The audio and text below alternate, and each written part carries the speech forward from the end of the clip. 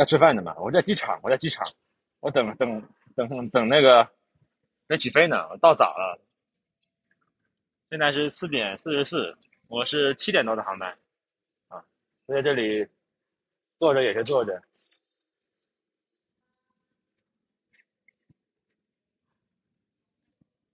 灵活就业啊！哦，近期我准备给你们搞一波大的，抽一波大奖。这个第九冠呢，好像没那么快啊。我之前直播间的时候跟你们讲说，要不是第九冠，要不是一百万粉丝，啊，跟你们整波大的抽奖。呃，第九冠呢，现在看起来比较漫长，但肯定肯定有，肯定会有。但是第九冠给你们再抽波大的吧，搞两波吧，先先一百万吧，好吧，先一百万，先一百万。先一百万粉丝的时候，我给你们整一波大的抽奖，好吧？抽抽那个新款的那个 iPhone，嗯，iPhone 十四，怎么样？抽 iPhone 十四，要么你们选也可以，你们选华为也可以，抽 iPhone。抽 iPhone 十四，怎么样？这波大吧？iPhone 十四，啊，再你给你们抽一些其他东西，不止 iPhone 十四啊。共同富裕嘛，我现在就是在给你们搞共同富裕啊，响应响应号召，共同富裕。虽然我也没有很富，但是，呃，发个给你们抽一个什么？iPhone 十四，然后抽一点天为折扇，还有几块钱，我觉得还是没问题的。这种这种程度是没问题的。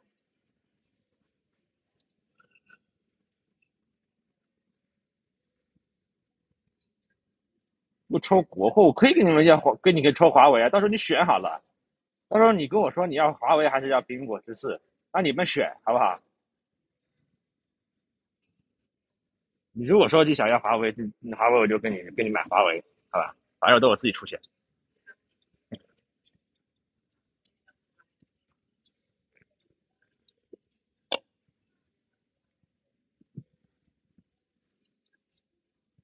可以啊。华为和苹果你们自己选，全都要。你都如果都是抽抽到十四了，我不说你有嗨木就不错了，啊，我不说你有嗨木就不错了，还要全都要。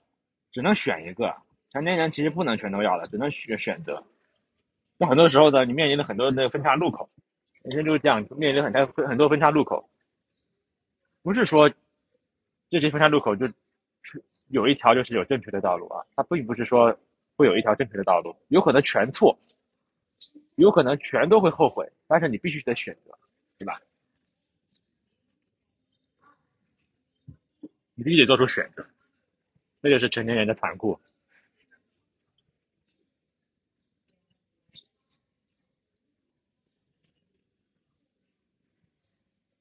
最近战绩，最近战绩很不好啊！最近战绩很不好啊！我真的，我不都不想下主将了，被被轮番蹂躏啊，烦啊！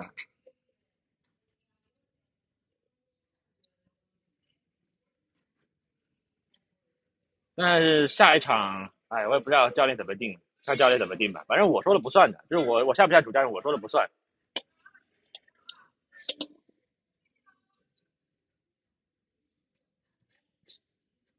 我准备负能量，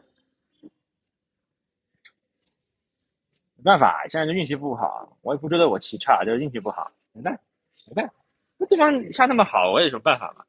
还有几盘就是运气特别差，人特别多没拿下来。运气是这样，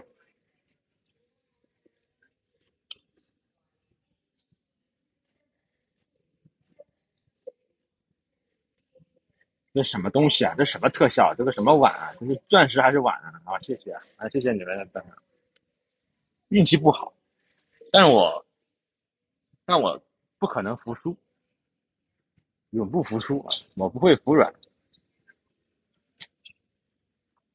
永不服输，永不服输啊！永不服输。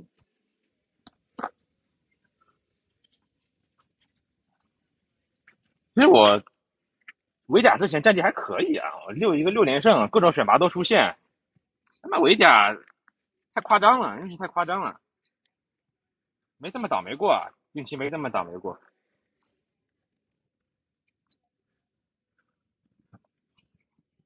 下一场必赢，好不好？下一场必赢，把把下一场必赢，下场必赢，下场必赢，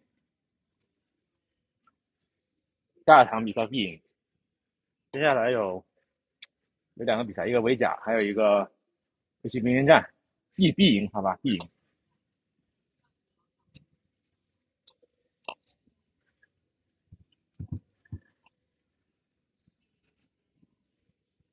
不赢，不赢，不赢！我给你们再追加一个，追加一个大奖，好不好？都抽了，那我不，那也不能这样的，我应该是，呃。我换一个，换一个，我想一下，啊，不赢就不赢，我不赢，我都经济上还有这个什么荣誉上都有直接损失了，我我不赢，我还给你们发什么东西吗？不可能啊，想得美，不可能不赢，必赢，必赢啊，必赢！你要希望我多赢一些，我多赢一些，我就会多发多发那个抽奖啊，我就多发点东西给你们抽啊，好不好？搞共同富裕了，然后我穷逼了，谁给你们抽礼物呀？是不是？就少了抽礼物的人了。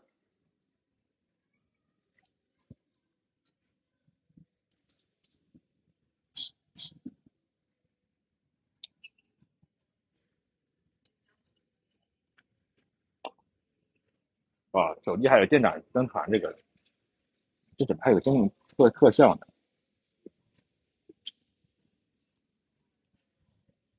接宝放心飞，可爱永相随。谢谢邱无坤啊，谢谢。啊，谢谢各位舰长啊！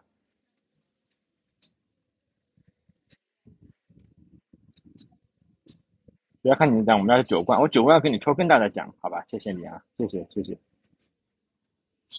广大附中军事社官方，杰宝的身体是我抱过最软的，杰宝的嘴是我亲过最硬的。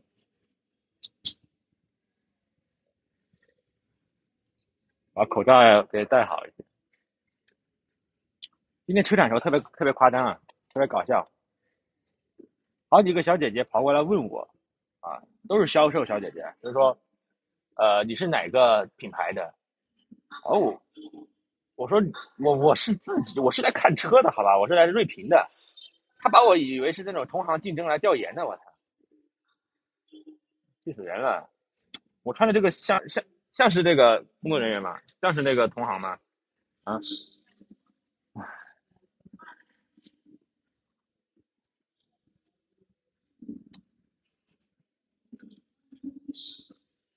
哎他以他们以为我是竞争对手跑过来调研的，我我真的是我真的服。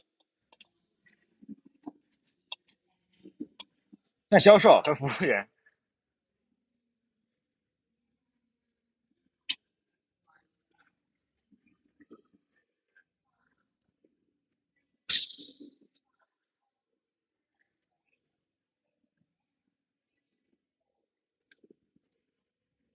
那我可以去。啊，如果像的话，其实像的话，我可以去做。以后落魄了，我可以去做销售啊，做推销，对吧？我觉得我不像啊，我觉得我不像，我这个这个精神气质像什么销售？我觉得我不像啊，我像销售吗？像啊，很像啊。哎，啊，欢迎各位，欢迎各位。啊，杰宝加油，必拿九冠，再拿十冠啊！谢谢蔡老爹啊，我有这个信心啊，只要我再努力一点点，好吧。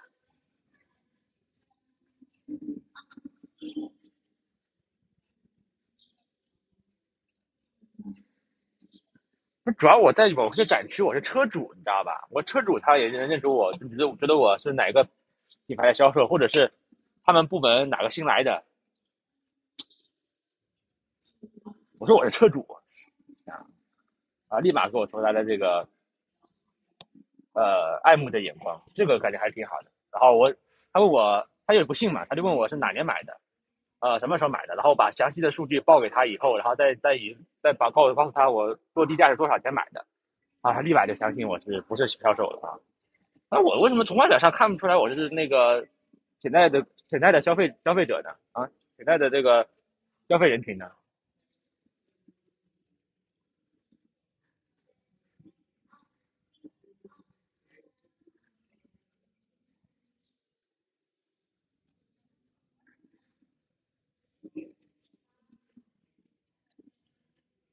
打个领带，打个领带不是更像了吗？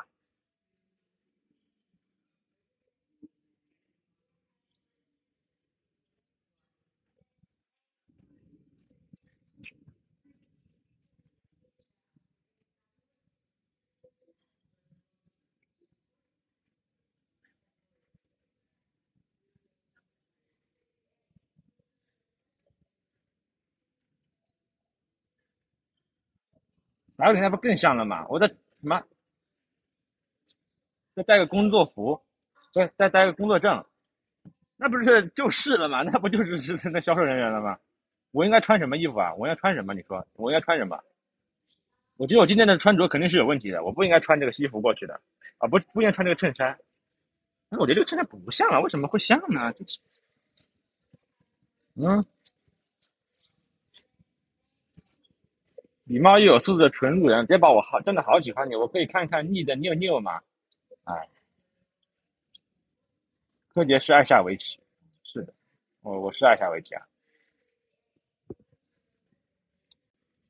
啊，绝宝，呃，韩国人好像把你针对研究透了，企业为啥不帮帮你啊？是不是？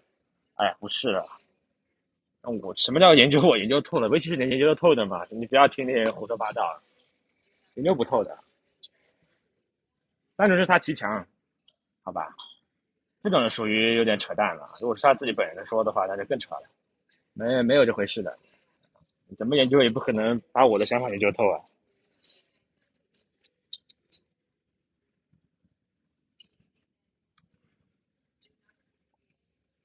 这属于胡说啊！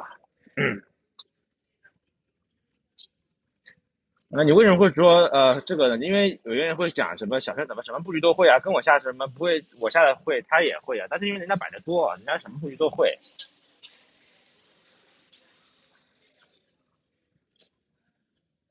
没有意义啊！你其他人他也会啊，他的布局怎么不会嘛？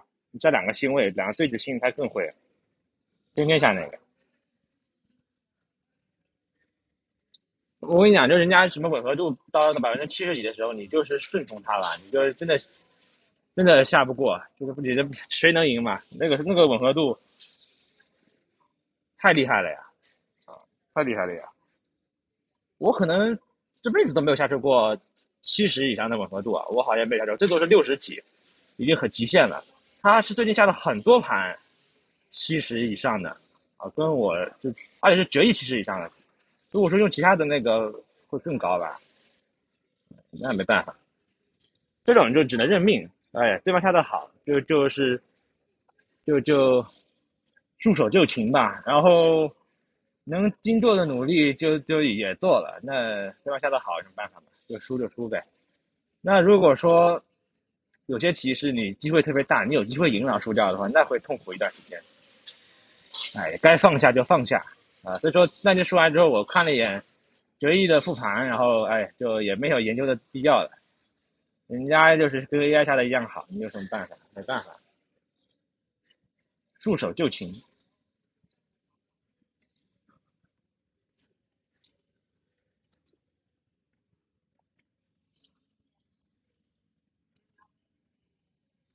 他不可能一直状态那么好吧？他总有状态不好的时候吧？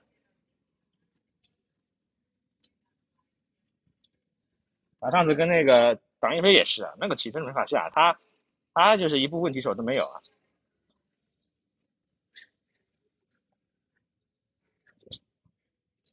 那老师这个状态，真的不好下。他不可能一直状态这么好，我觉得不可能的。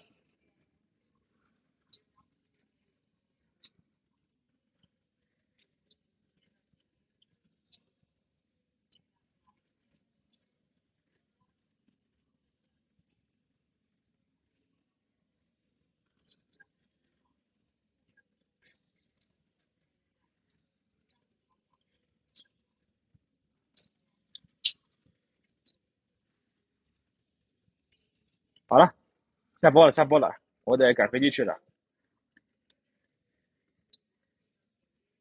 拜拜拜拜拜拜。呃，跟你们预告一下，二十呃三十号有一场比赛，然后三号有名人赛，然后下完了以后我就不知道后面还有什么比赛了。好，后面还有一场围甲呢，差不多围甲下一下，然后这个名人下一下，这个这个八九月份就过去了，好吧？拜拜拜拜拜拜，赶飞机去了。